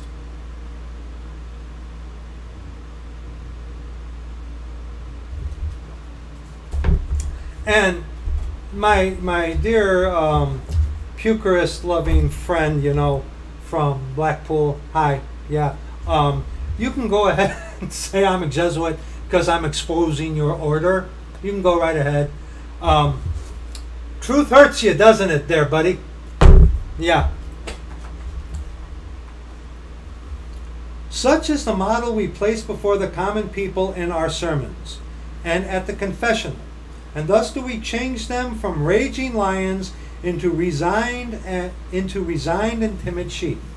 Besides all this, we dazzle them by the prodigious quantity of lives of saints which we set before their eyes, uh, full of sound and fury, signifying nothing, teaching nothing of uh, importance, but giving, doing chaff and redirect. Okay? Saints who have been canonized, who are now resplendent with celestial glory, who have fasted and mortified themselves, voluntarily undergoing the most severe sufferings in order to gain a glorious seat in heaven. Yeah. Weigh all this well, and you will be prepared to acknowledge that the Roman Church alone is able to guarantee you against the principles of revolt. And they're the ones who are stoking it. That by such teachings as these, it can stifle and destroy them in their very germs. Uh, get a load of this. I'm talking about how history has been rewritten, and the Jesuits are robots that are only put in certain things that they can do. Okay? Yeah, they're brilliant men, but yet, what can they teach? Besides all this, we dazzle them by prodigious quantity of lives of saints which we set before their eyes. Sound and fury, signifying nothing. What if we organized a special committee, committee to watch over the tendencies of the history and literature of the age? Books are being rewritten, old speak is getting out of the way, new speak is coming. Encouragement might be uh, ardently, ardently given to any writer who would place a few flowers on the bust of one of one or other of our popes. Place a few flowers on some of the popes. Don't speak too bad about the Catholic, Catholics. Yes, go ahead. Say things about them. Go ahead. Because remember, even the Jesuits will say things about their Jesuits. But you know what they won't do? They won't get into detail. They won't get into detail. That's why you attack this, you idiot. I'm referring to devils and lost people as idiots. Okay? Not those of the Church of the Living God. Okay? But that's why you attack this. That's why you attack this. Exactly. Okay? Exactly. okay? Because you Jesuits, you're not all about details. You're you keep very rigorous detail in um, in infiltrating and gathering information on people, like I've experienced with these coadjutors myself. Okay, they like to get every bit of information from you. Yes, but when it comes to speaking about their own order, uh, they don't get into detail. They kind of skimp on the detail. Okay. Encouragement might be ardently given to any writer who would place a few flowers on the bust of one of, uh, of one or other of our popes. Speak a little against it, but don't don't deeply expose them. Don't expose it for Satan's church as it is. Yeah. Say good things about Constantine, about Constantine. Yeah. Or who might be disposed to defend certain parts of our institutions. Oh, like the, creed, the, the creeds of the Catholic Church, right down the line, they're, they're spot on. Excuse me, just a little gagging. Or, or our culminated religious practices. In time, we should see a great increase in the number of these apologies. You ever heard of apologetics? Yeah. Yeah. Why is it these emergent Christians are all about walking the labyrinth, wanting to be Buddhists, incorporating everything into it and calling it blah? That's Christianity for you. Okay? And there is no doubt that a few writers of note were to open the way in this direction. Others would soon follow in their track without requiring either pay or prompting from us. And that's the scary thing. Because of what the Jesuits have done to the educational system and taken the scripture away from people and given them Bibles and have, um, uh, oh, uh, have given them Christianity, given them evolution, everything under heaven except the scriptures. They don't even have to be, some of these guys don't even have to be egged on by the uh, Jesuits. They do it of their own accord. That's scary. If we could but operate a change in public opinion with respect to the history of the church. Right here, he's talking about Vatican II. That's a reference onto Vatican Council II. Smokescreen, ecumenical smokescreen. We're separated brethren and working with other denominations to bring about accurate translation of the Bible. Its dogmas and ceremonies, so as to bring the people to regard these things with less repugnance. How many obstacles would be thereby removed? We suffer rich benefices to be devoured by a host of Sybarites who do us more harm than good. Why should we regret a few sums expended for a purpose to eminently so eminently useful? How many ruins might be repaired through the instrumentality of the multitude of young? There you see again Jesuits going after the youth, poetic enthusiasts, or of those literary men who presuppose who whose presumption or itch for novelty keeps them perpetually scribbling, novelty. Novelty. This is all a joke to them. It's all a joke to them. Think this is funny. Yeah, it's, it's, a, it's a big joke to y'all. That's why these people can't teach you anything. Uh, they are opponents, but nothing more. Any one of these guys, if Sosa were to so order one of these guys to strap something on them and go kablooey in, on something, they would do it. They would do it. Because their free will has been taken out of them through the spiritual exercises. And you go in through the military in any way, shape, or form, you are exposed to a variant of the spiritual exercises. And I've known Marines who have even testified to such. You've been in the military, you've been exposed in some kind of a way to a flavor of Ignatius's spiritual exercises. Why is it a lot of the people I've encountered have military backgrounds? Hmm. Please consider these things, brethren. Please, people, consider these things. And you know, let, let me let me finish with something. Psalm 133. Psalm 133. You know, if you're of the Church of the Living God, you are my brother.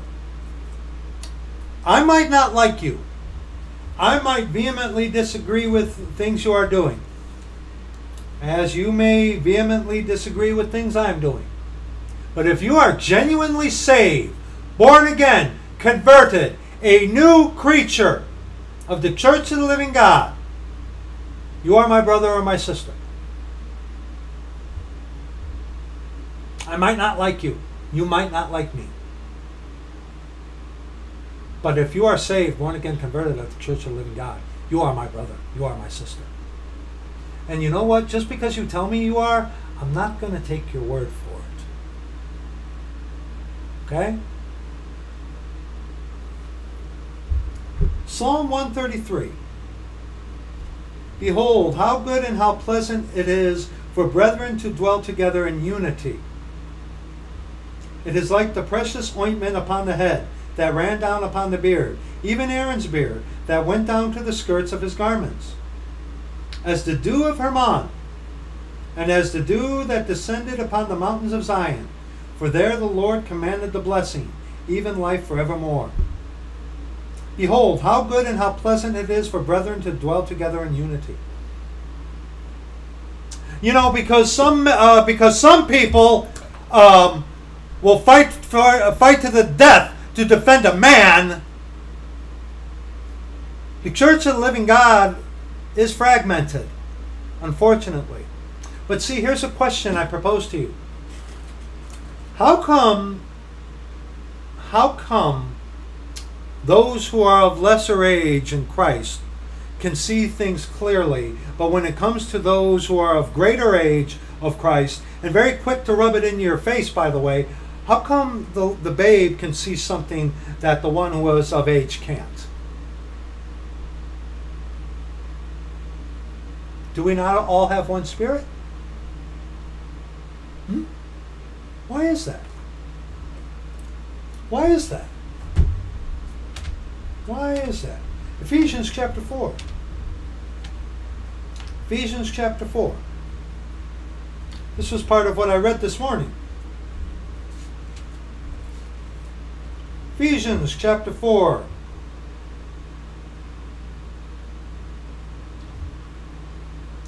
Verses 1 on to verse 19. And then we'll be done.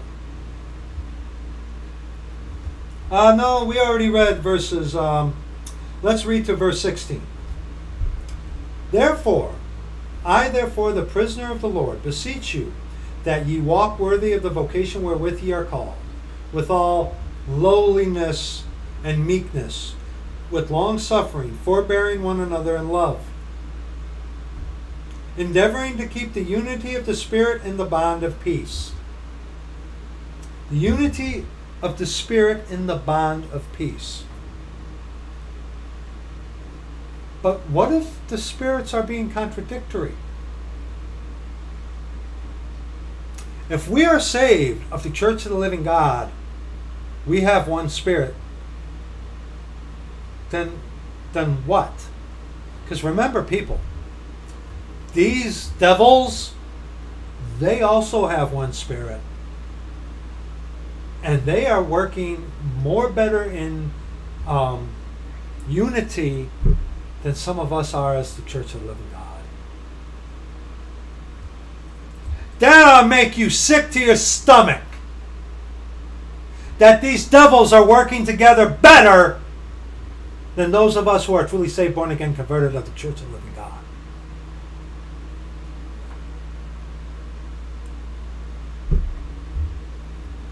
There is one body and one spirit, even as ye are called in one hope of your calling, one Lord, one faith, one baptism, one God and Father of all, who is above all and through all and in you all. If you are saved, born again, converted, you are sealed until that day of redemption. Our Lord Jesus Christ, God our Father, you know, the Holy Ghost, the Lord is that Spirit, dwells within you. The circumcision made without hands, that seal until the day of redemption. Okay? But unto every one of us is given grace according to the measure of the gift of Christ. Yes, some are babes. You're not going to understand everything. There are some up there who have, uh, not up there, but some down there who've been through things, yes. But why are a lot of these people who are still yet babes can see obvious things, but those who are not, uh, who have been long down that path for a while, can't?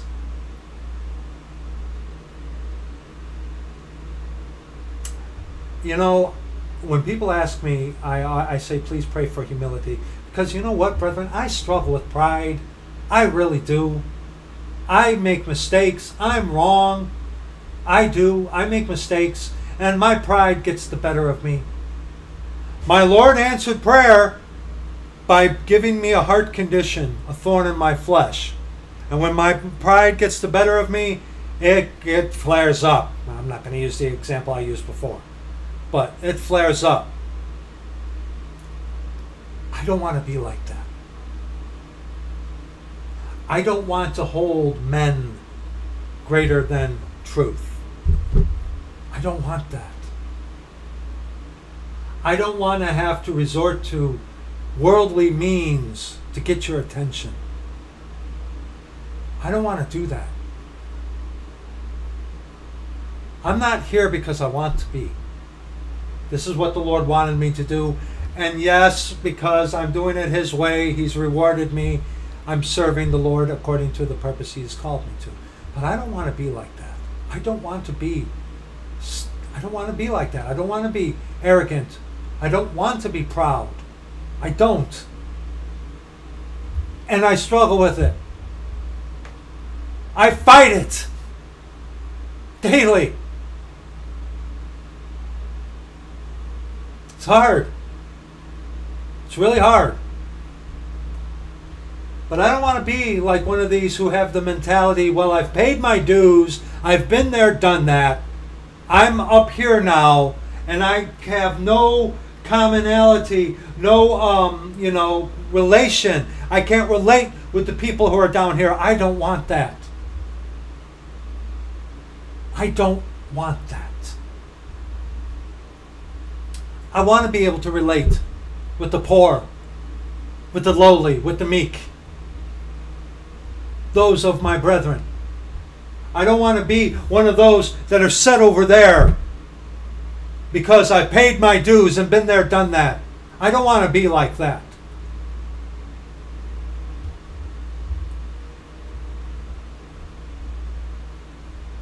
God help me if I if I ever get to that point. And I hope I don't. Wherefore he saith, When he ascended up on high, he led captivity captive, and gave gifts unto men. Now that he ascended, what is it but that he also descended first into the lower parts of the earth? He that descended is the same also that ascended up far above all heavens, that he might fill all things. And he gave some apostles, and some prophets, and some evangelists, and some pastors, and some teachers. We don't all have the same thing that we're doing. We have different functions within the body of Christ, the church of the living God. Okay? Some of you are not called to this. Some of you are called to online tracting. Praise the Lord for it.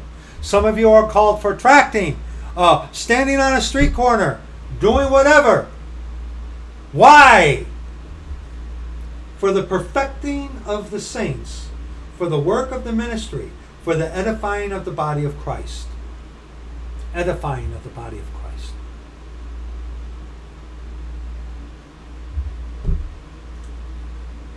I see things that I that the Lord stirs to my attention. It's like, hey, you need to, you know, speak up on these things. And I do. And I do. I follow his lead. I'll take the consequences. So we all come in the unity of the faith and of the knowledge of the Son of God unto a perfect man unto the measure of the stature of the fullness of Christ.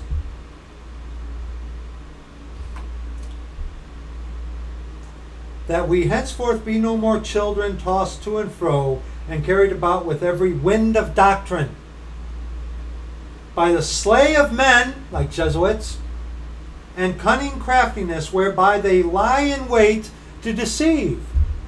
You know, like sleeper cells. People who will lie dormant, like part of the uh, Jesuit order, these coadjutors, they will lie dormant for years, and then one day their masters will be like, "Hey, got a job for you." They'll spring up, and then all of a sudden they'll come online to YouTube and start going after one specific person. Gee, oh yeah, that's not Jesuit. yeah.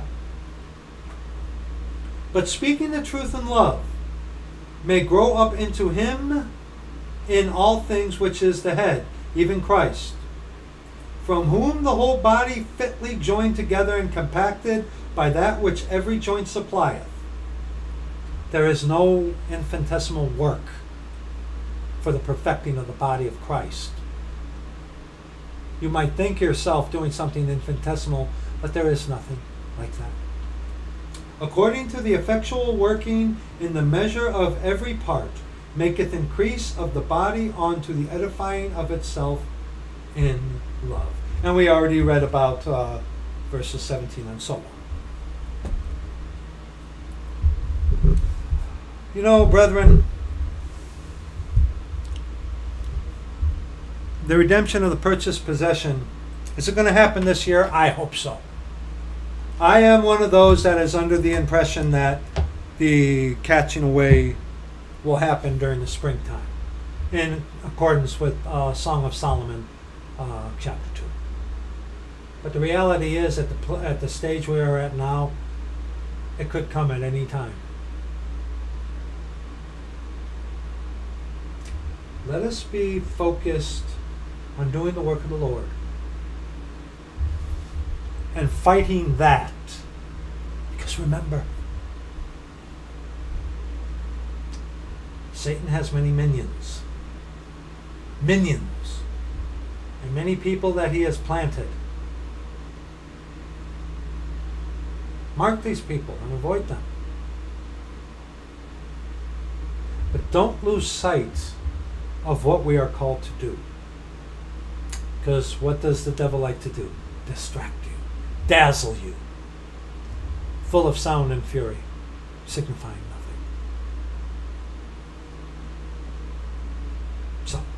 It's going to be it for this video. I hope this helps. I hope this. Uh, I hope this. The Lord do with this ever, whatever He will. Thank you, brethren. Church of the Living God, I love you. We love you. Thank you. And even to you, my enemies, if you make it this far, and there are some of you who will,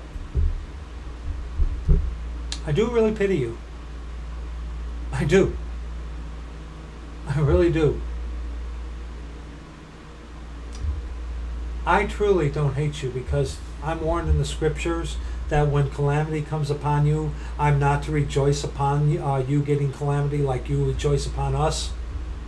Um, because if we do, it'll displease our Lord and He'll turn away from it because we're behaving like you do.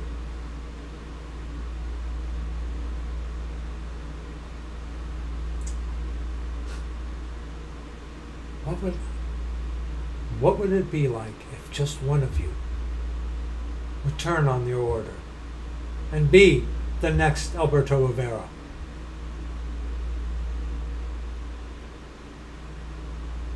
Could that be you, Smiley? I know it ain't your brother from England. That ain't gonna happen.